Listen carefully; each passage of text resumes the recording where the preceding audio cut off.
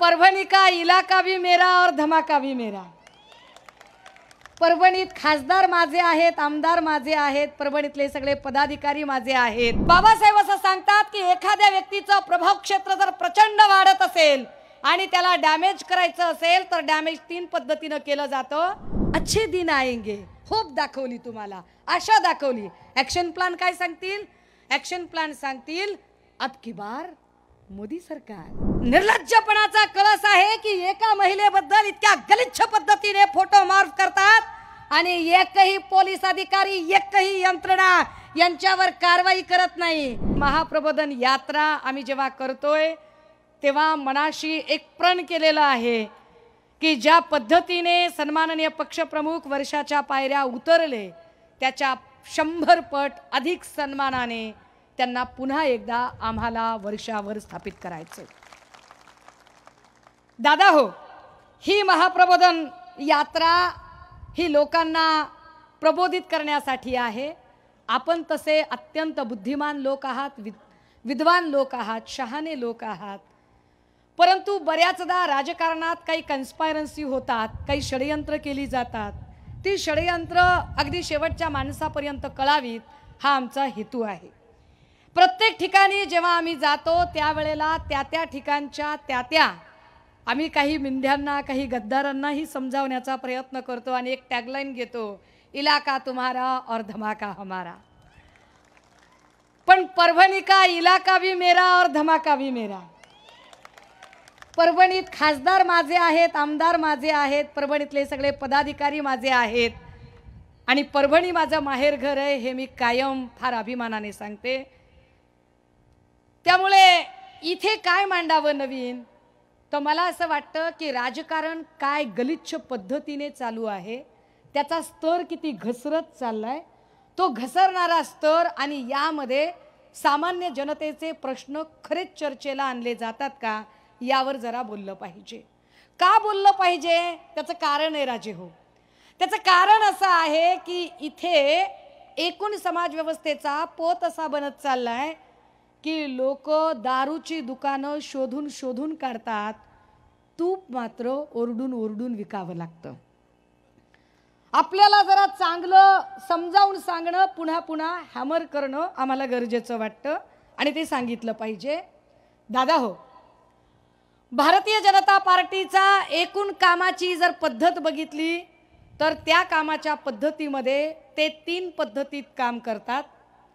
त्यातली त्यांची पहिली स्टेप असते डॅमेज दुसरी स्टेप असते होप आणि तिसरी स्टेप असते ॲक्शन प्लॅन आधी जे काही आहे त्याला डॅमेज करून टाका कारण त्याच्याशिवाय नवीन उभं राहणार नाही.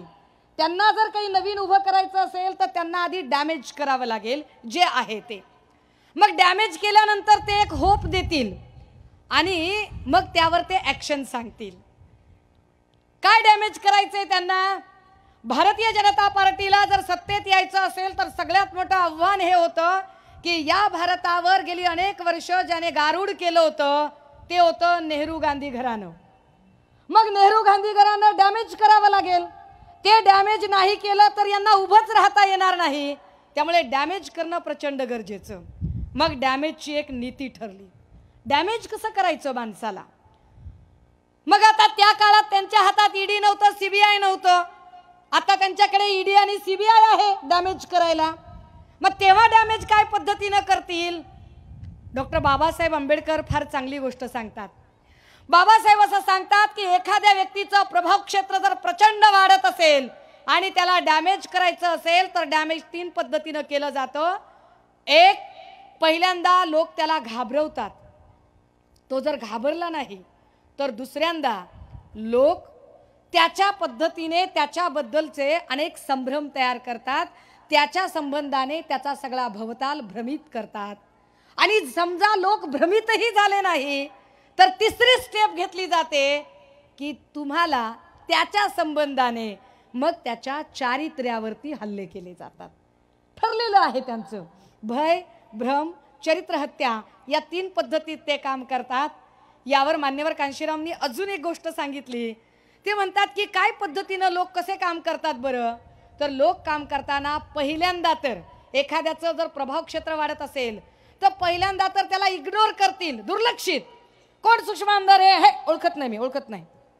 नाही ओळखणार ते. मग दुसऱ्या टप्प्यात त्यांना आता ओळखणं भागच आहे म्हटल्यावर ते टिंगल करतील. टिंगलीचा विषय करतील. काहीतरी टिंगल टवाळक्या करतील. समजा टिंगलीने पण ऐकलं नाही मग ते तिसऱ्या टप्प्यावर जातात. ते तुमचा उपहास करतात सटायर करतात लिहायला लागतात. समजा ते उपहासानेही जमलं नाही तर चौथ्या टप्प्यावर ते तुमचा कडाडून विरोध करतात. आणि चार टप्प्यांवर जर तुम्ही टिकलात ना तर पाचव्या टप्प्यावर तुमचा विजय निश्चित असतो. आता झालं काय याच्यामध्ये बघा की ज्या पद्धतीने भाजपाने काम केलं डॅमेज होप आणि ॲक्शन प्लान भाजपने एकेकाला डॅमेज करायला सुरुवात केली. जर त्या काळामध्ये समजा ईडी आय नाही आहे पण डॅमेज करायचा आहे माणूस मग काय करावं लागेल? भीती तर दाखवू शकत नाहीत ते नेहरूंना आणि गांधींना. मग काय करावं? त्यांच्याबद्दल भ्रम तयार करावेत का? पण भ्रमही तयार करता येत नाहीत कारण त्यांचं स्वातंत्र्य लढ्यातलं योगदान आहे. मग काय करायचं? तर त्यांनी पहिलं काम केलं ते म्हणजे चरित्र हत्येचं. यांच्या एकूण चारित्र्यावरच हल्ले सुरू करायचे. दादा जरा एक फोटो दाखवा. नेहरूंच्या चारित्र्यावर हल्ले सुरू केले याच्या आधीचा दाखवा. जरा ग्रुप फोटो दाखवा तुम्ही. ग्रुप ग्रुप ग्रुप फोटो दाखवा. घ्या अलीकडं. तुम्ही पहिल्यांदा बरोबर दाखवला होता. अहो पै काय गुरुजी? हा बस. राजे हो हा एक फोटो आहे. याच्यात अनेक फोटो आहेत. बघा नेहरूंचं काय पद्धतीनं चरित्र हत्या केली गेली. महाप्रबोधन यात्रा अशी चर्चेत नाही आली. महाप्रबोधन यात्रेने भली भली सत्य लोकांच्या समोर आणली. महाप्रबोधन यात्रेनं भल्या भल्यांच्या पायाखालची जमीन हलवली. महाप्रबोधन यात्रेनं भल्या भल्यांना ताळ्यावर आणलं. हा फोटो आहे नेहरूंचा. नेहरूंच्या सोबत एक दोन तीन चार पाच सहा सात आठ नऊ वेगवेगळ्या ठिकाणी काही बायका दिसत आहेत. काय केलं भाजपाने? भारतीय जनता पार्टीच्या अनेक सोशल मीडियाच्या पेजवर हा फोटो सगळीकडे दाखवला गेला. आणि नेहरू कसा बाहेर खेळी माणूस आहे? नेहरूंचे कसे इतर लोकांशी इतर बायकांशी कशी इलिसिट रिलेशनशिप आहे? नेहरू कसा रंगेल मिजाज माणूस आहे? हे दाखवायचा प्रयत्न केला आणि असा फोटो दाखवला. दादा जरा पुढचा जरा एक एक फोटोकडे जाऊया. घ्या पुढचा फोटो घ्या जरा. हा नाही त्याच्या पुढचा घ्या. थांबा. हा फोटो ट्विटवरचा फोटो आहे. मी स्क्रीनशॉट घेतलाय. याचे सगळे ट्विट उपलब्ध आहेत. आणि हे सगळेच्या सगळे ट्विट हे बजरंग दल विश्व हिंदू परिषद सनातन प्रभात भारतीय जनता पार्टी या सगळ्यांच्या ट्विटर अकाउंटवर आहे त्याच्या सगळ्या लिंक्स आहेत माझ्याकडे. मी पुराव्याशिवाय काहीच बोलत नाही. पोलिसांनी बिनधास्त रेकॉर्ड करावं. मी तुम्हाला त्याच्या लिंक्स द्यायला तयार आहे. काय राव? कायदा माझ्या बापानं लिहिलाय म्हणल्यावर पुरावा मी ठेवणार की सोबत? असं कसं बरं? आता विचार करा हा फोटो ठरकी दिवस हॅशटॅग काय वापरला? चौदा नोव्हेंबरला नेहरूंच्या जन्मदिवशी ठरकी दिवस असा हॅशटॅग वापरला. आणि हा हॅशटॅग वापरून सांगितलं प्रत्येकाने वेगवेगळे फोटो टाकले आणि म्हणाले बघा नेहरू कसा गर्दीमध्ये नेहरूला बायका कशा किस करत आहेत कसं चुंबन घेत आहेत हा माणूस आहे का? बघा हा. म्हणजे यांचे यांचे गाडीतल्या रॅलीचे फोटो ते म्हणलं की मॉर्फाय म्हणतात. हा. ते ते मॉर्फाय म्हणतात. आणि इकडे काय केलं यांनी? दादा हो हा फोटो मॉर्फ नाही. हा फोटो अजिबात मॉर्फ नाही. हा फोटो खरा आहे. हा फोटो ओरिजिनल आहे. पण ती जी मागून जी एक बाई आहे जी चुंबन घेते ती बाई कोण आहे ते आधी समजलं पाहिजे. हा फोटो आहे जुलै एकोणीसशे पंचावन्नचा. हा फोटो आहे लंडनच्या एअरपोर्टचा. या फोटोमध्ये जी दिसत आहे जी अजून एक पाठमोरी आकृती दिसते ती आहे नेहरूंची दस्तूर खुद्द सख्खी बहीण. नेहरूंच्या बहीणबाई आहेत विजयालक्ष्मी पंडित. आणि चुंबन घेणारी जी माऊली आहे ती आहे नेहरूंच्या सख्ख्या बहिणीची मुलगी जी नेहरूंना अनेक वर्षानंतर भेटते एअरपोर्टवर भेटते आणि आपल्या माय देशातून आपला मामा आलाय. मामा शब्द मे दो बार मा होत आहे. आपला मामा आलाय. आपल्या मामाला भेटायचंय. म्हणून ती चुंबन घेते आणि तिचा फोटो गलिच्छ पद्धतीने अबकी बार मोदी सरकार या पेजवर वी सपोर्ट बीजेपी या पेजवर वी सपोर्ट योगी आदित्य या पेजवर वोट फॉर बीजेपी या पेजवर तब्बल सोळा हजार शेअर या फोटोला येतात आणि नेहरूंची इमेज डॅमेज करण्याचा प्रयत्न केला जातो. काय गलिच्छ राजकारण आहे. काय गलिच्छ पद्धतीने लोकांच्या चारित्र्यावर हल्ले चढवले जातात. एकीकडे तुमच्या जीप मधल्या रॅलीतले जे काही किस्से आहेत त्यावर तुम्ही बोलतच नाही. आणि दुसरीकडे लोकांना धडांग्याला पिसं लावायला जाता. दादा हो यांनी प्रत्येकाला म्हणजे बघा नेहरू गांधींना आधी डॅमेज करायचं. आणि मग होप काय द्यायची? जर हे सगळे डॅमेज आहेत हे सगळे खराब आहेत तर काय करावं? तर मग ते सांगतात अच्छे दिन आएंगे अच्छे दिन आएंगे. होप दाखवली तुम्हाला आशा दाखवली. ॲक्शन प्लॅन काय सांगतील? ॲक्शन प्लॅन सांगतील अब की बार मोदी सरकार. ॲक्शन प्लॅन देतील. आता जरा पुढच्या फोटोकडे येऊया. जरा दादा जरा पुढचा फोटो दाखव थोडा हा झालं पाहिजे ना? एकदा दाखवलं पाहिजे. या दादा जरा पुढचे फोटो जरा दाखवा. जरा सोनिया गांधींचा एक फोटो दाखवा तुम्ही. हा फोटो थांबा. हा फोटो सोनिया गांधींच्या वाढदिवसाच्या दिवशी हा फोटो बी जे पीच्या सगळ्या सोशल मीडियाच्या पेजवर चालवला गेला. आणि काय सांगितलं गेलं? अत्यंत गलिच्छ घृणास्पद घाणेरड्या पद्धतीने या फोटोच्या सोबत वाढदिवसाच्या शुभेच्छा देताना हॅशटॅग बारगर्ल डे असा हॅशटॅग चालवला गेला. काय गलिच्छपणा आहे. Hashtag bar girl day.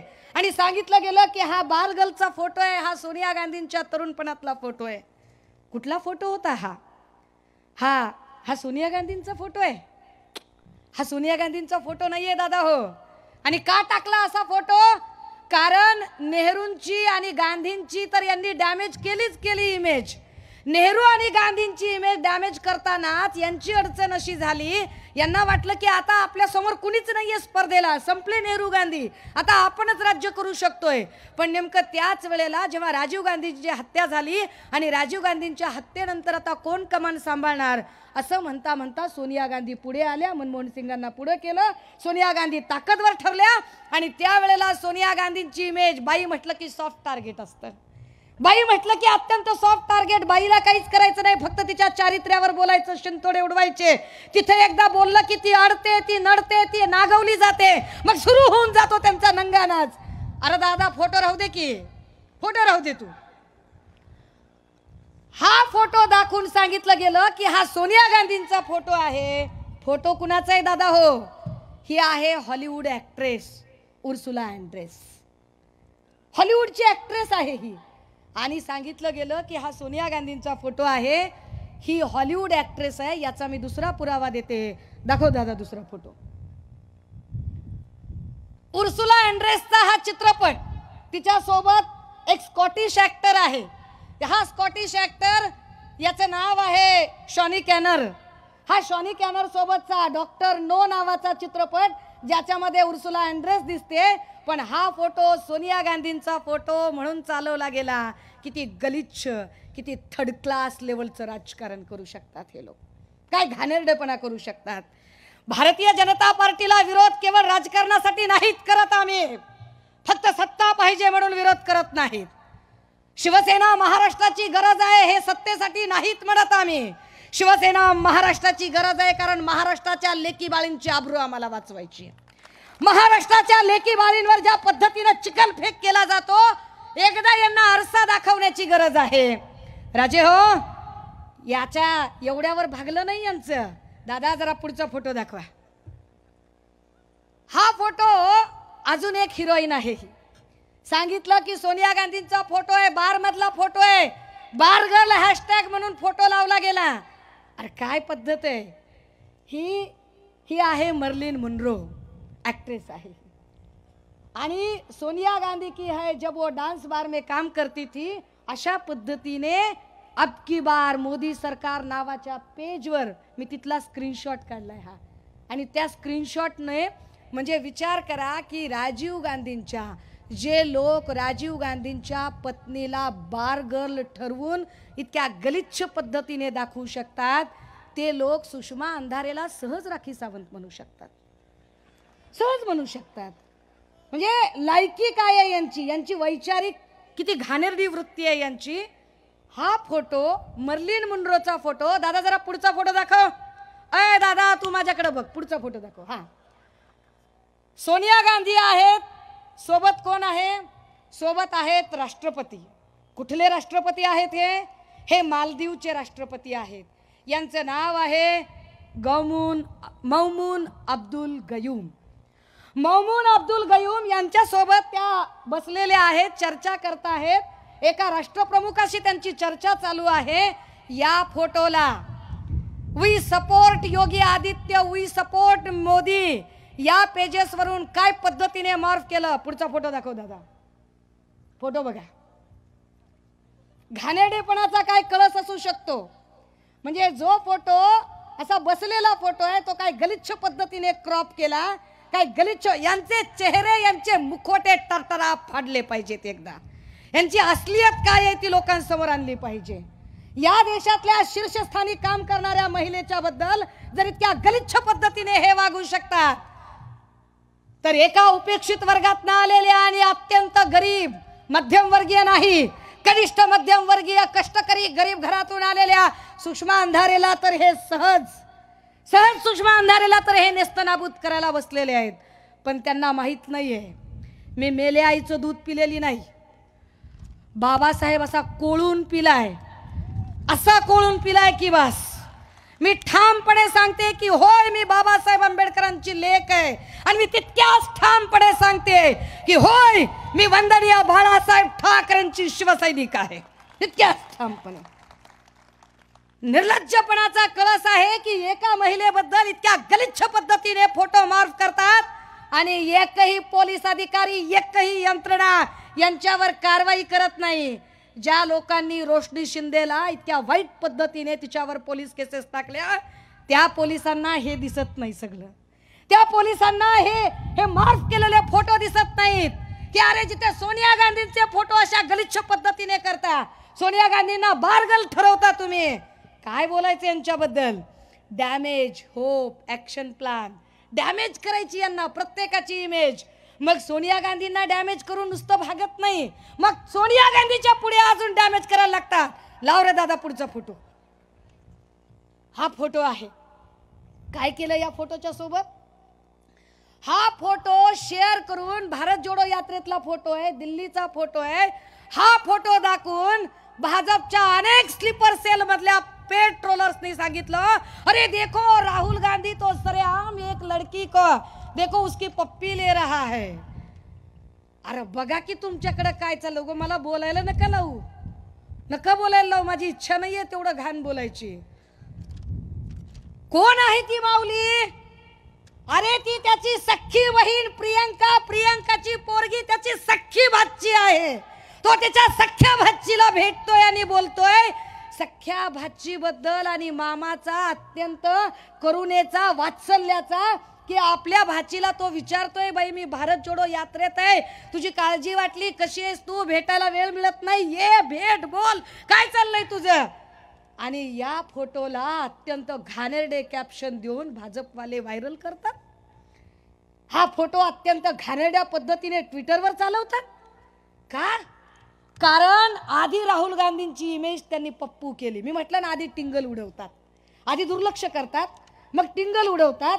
Rahul गांधीला आधी दुर्लक्ष केलं नाही भागलं मग टिंगल उडवली पप्पू म्हणून तरी पण नाही जमला खेळ. मग पप्पू म्हणून टिंगल उडवली जमला नाही मग उपहास केला. की आकरले गा तू? काय त्याची ती भारत जोडो यात्रा?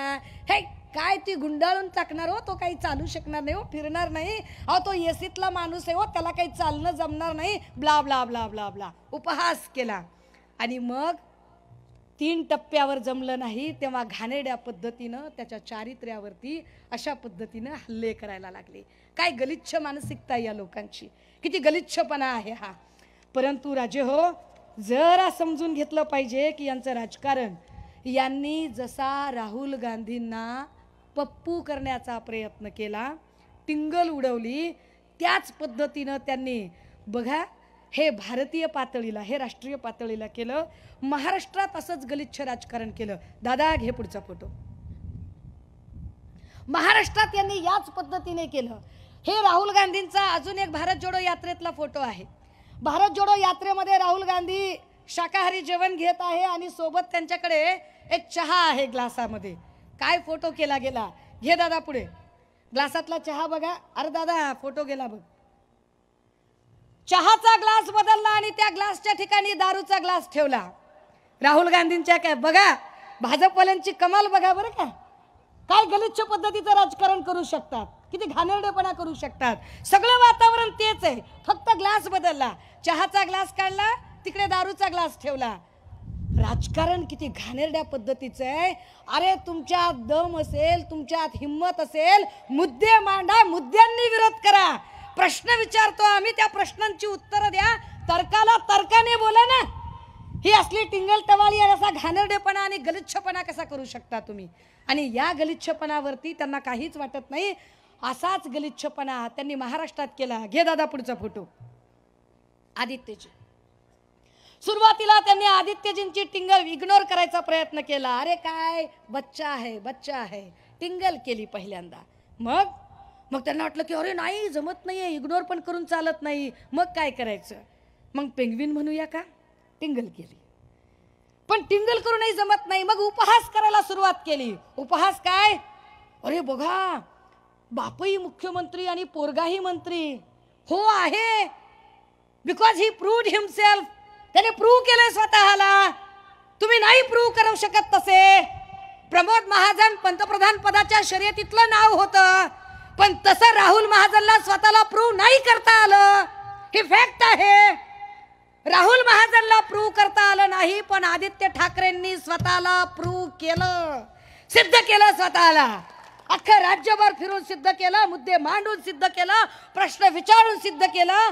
मला आनंद आहे की महाप्रबोधन यात्रेच्या निमित्ताने मी जेव्हा कणकवली देवगडमध्ये जाते तेव्हा देवगडच्या कुणकेश्वराच्या मंदिरातला पुजारी सांगतो ताई साहेब इकडे सभामंडप नव्हता. आदित्य साहेब पर्यावरण मंत्री झाले तेव्हा त्यांनी आम्हाला इथे सभामंडपाला निधी दिला. मी जेव्हा संभाजीनगरला जाते तेव्हा प्रतिजेजुरी तिथल्या बाजूला असलेलं मंदिर. ते सांगतात ताई साहेब हा ओटा आणि हे काहीच नव्हतं. हे स्वागत खांब नव्हते. हे आदित्य साहेबांनी दिलेले आहेत. मी जेव्हा प्रत्येक ठिकाणी जाते तेव्हा प्रत्येक ठिकाणी ते लोक सांगतात की हे हे आदित्य साहेबांच्या निधीतलं काम आहे. ते बसतात ते बोलतात ते आय ए एसशी बोलतात आय पी एसशी बोलतात टाउन प्लॅनरशी बोलतात प्रत्येकाशी चर्चा करतात. पण हे भाजपाला कसे बघवेल बरं? कारण बत्तीस वर्षाच्या पोराने यांची बत्तीसशी गुल करून टाकली आहे. ह्यांना बोलायला शब्दच नाहीये करतील काय? मग चारित्र्यावर हल्ले करायचे. बघा टिंगल उडवली आधी. चुकीची नावं पाडली तिकडे पप्पू पाडलं इकडे पेंगविन पाडलं टिंगल करून नाही भागलं मग उपहास केला उपहास करून नाही झालं मग चारित्र्यावर हल्ले सुरू केले. काय चारित्र्यावर हल्ले सुरू केले? तिकडे जसे त्या राहुलजींच्या सोबत काही फोटो शेअर केले गेले तसं काही कारण नसताना आदित्यजींचा संबंध त्या दिशा सालियांशी जोडायचा प्रयत्न केला. दिशा सालियान स्वतः सांगते की no I don't know I never meet he मैं उससे कभी मिली नहीं हूँ मुझे पता नहीं है। अरे यार मैं ये हूँ याने कोई अलग कह रही हूँ ये लोग कुछ अलग समझ रहे हैं। पण तरीही ऐकत नव्हते। सीबीआयने शेवटी क्लोजर रिपोर्ट सादर केला. पण का केलं गेलं असं? असं केलं गेलं कारण सुशांत सिंग हा बिहारचा होता. बिहारचं इलेक्शन भाजपला जिंकायचं होतं. आणि भाजपला जर बिहारचं इलेक्शन जिंकायचं असेल तर बिहारच्या सुशांत सिंगचा प्रकरण ओढून ताणून त्यांना इथं काढणं गरजेचं होतं. की आम्ही कसे आहोत म्हणायला. नाही कुणी प्रश्न विचारायचा या लोकांना? याच पद्धतीनं त्यांनी अजून एक नाव डॅमेज करायचा प्रयत्न केला. दादा लावा पुढचा फोटो संजय राऊत. जो जो कुणी भाजपला कडवा विरोध करेल त्या त्या प्रत्येकाला ते हल्ले करायला बसलेले आहेत. जो जो कुणी भाजपच्या प्रखर विरोधात जाईल त्या प्रत्येकाला ते आयुष्यातून उठवायला बसलेले आहेत. त्यांच्या असं लक्षात आलं की अरे शिवसेनेतले आम्ही तर चाळीस गद्दार फोडले. तुमचा इकडचा पालकमंत्री. जाऊ दे बाबा आपण कशाला काय म्हणावं? त्यांना भाऊ म्हणल्याचा पण प्रॉब्लेम आहे. ते म्हणतात भाऊ नका म्हणू आता भाऊ नाही म्हणायचं तर काय म्हणायचं बाबा? हा? आता ह्या सगळ्यांमध्ये तानाजी सावंत सांगतात की आमच्या दीडशे बैठका झाल्या. कशासाठी? सरकार उभं करण्यासाठी. दीडशे बैठका. आणि कुणासोबत झाल्या? माझ्या दीडशे बैठका स्वतः देवेंद्र फडणवीसांच्या सोबत झाल्या. मी दीडशे बैठका केल्या. अरे अटल बिहारींच्यांनी मैदान भरलेलं नव्हतं. असं मी मैदान भरून दाखवलं. कुणाला सांगतोय? मीडियाला. अर्थ काय काढावा? याचा अर्थ उघड आहे की तानाजी सावंतांना मिळालेल्या खात्यावर तानाजी सावंत अजिबात खुश नाहीयेत. कदाचित तानाजी सावंतांना ते मुख्यमंत्री पदाचीच खुर्ची हवी आहे. आणि त्यांना सांगायचंय की एकनाथ शिंदेच्या ती हिंमत नव्हती धमक नव्हती क्षमता नव्हती. एकनाथ शिंदेने सत्तांतरासाठी काही केलं नाही. जे काही केलं ते दीडशे बैठका घेऊन मी केलं. चाळीस गद्दार निघून गेले. पक्ष कसा चालणार? पक्षाचं काय होणार?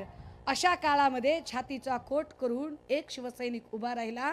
नाव होतं सन्माननीय संजय राऊत साहेब. संजय राऊत साहेब उभे राहिलेत म्हटल्यावर संजय राऊत साहेबांवर काय तुटून पडले हे लोक?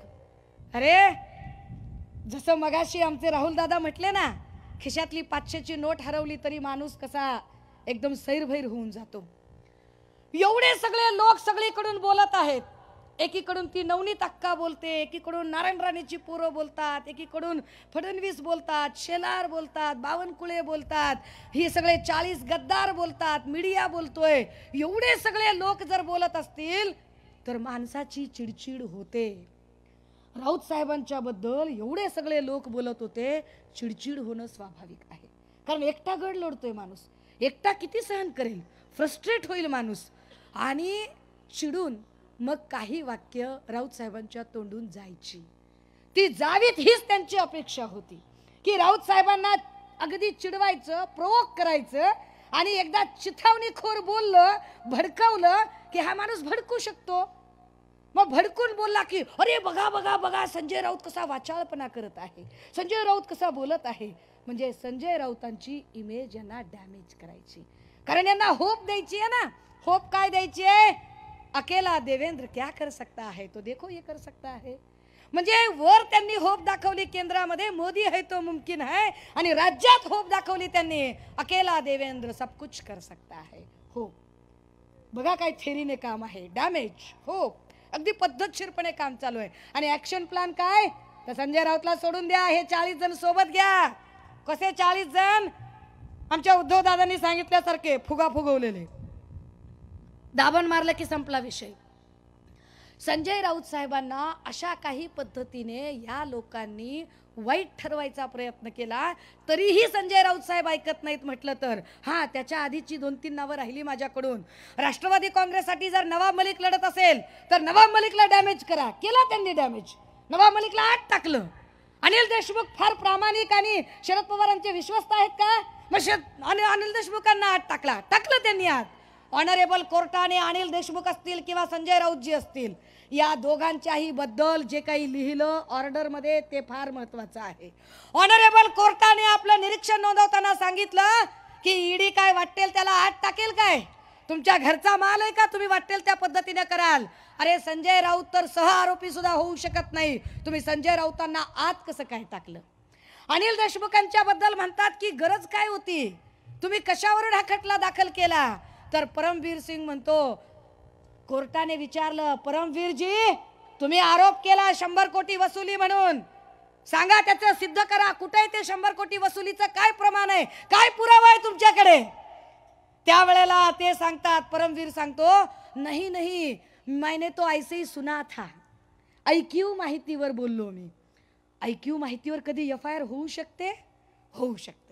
भाजपच्या काळात ऐक्यू माहितीवर एफ आय आर होऊ शकते. आम्ही फॅक्ट दाखवतो तेव्हा एफ आय आर होत नाही.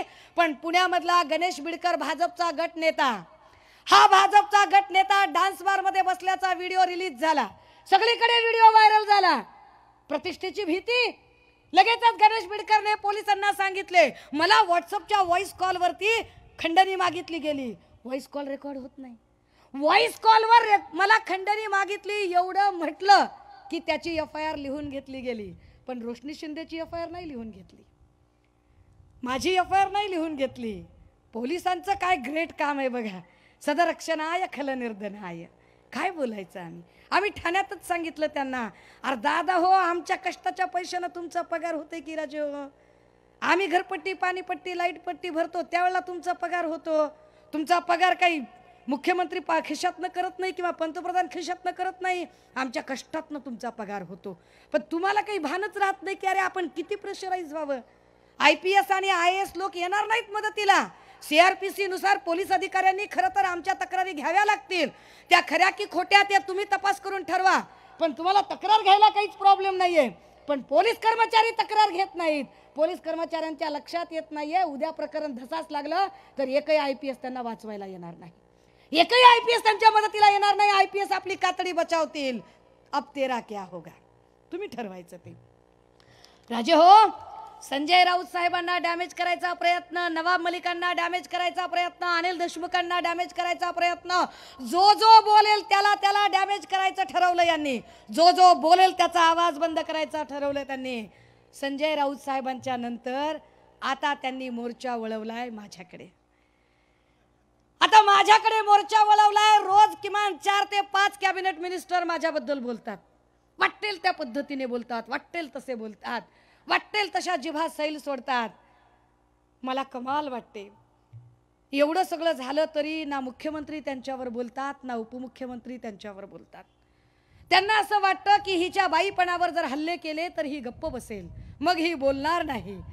पण त्यांना माहीत नाही मी पुन्हा पुन्हा सांगते की मी चळवळीचं शास्त्र शिकून आली आहे मला माहिती आहे की माझ्या बाईपणावर हल्ला करणे हा तुमच्या षडयंत्राचा तुमच्या कटाचा भाग आहे. आणि मी त्याला भीक घालणार नाही. मी मी बाईपणाचं कुठलंही विक्टीम कार्ड खेळणार नाही. मी लढेन आणि होय मी जिंकेन आणि मीच जिंकेन खात्रीनं जिंकेन.